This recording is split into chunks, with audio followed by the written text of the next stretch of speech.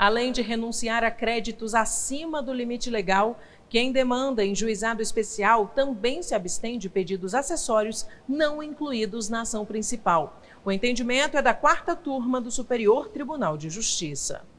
No caso analisado, a parte pedia a condenação de um banco ao pagamento de juros sobre valores de tarifas que, em processo que tramitou em juizado especial, foram consideradas abusivas. Em primeira instância, o juiz rejeitou a alegação de coisa julgada por entender que os objetos das duas ações eram diferentes, uma vez que na primeira o pedido era de declaração de ilegalidade das tarifas apontadas como abusivas pelo cliente e na segunda era o recebimento dos juros incidentes sobre tarifas já consideradas ilegais. A sentença foi confirmada pelo Tribunal de Justiça da Paraíba.